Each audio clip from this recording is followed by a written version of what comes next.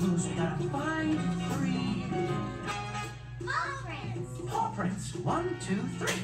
And those are our Clues. our clues. Clues. And we put them in our because the Blue's, clues, Blue's, clues.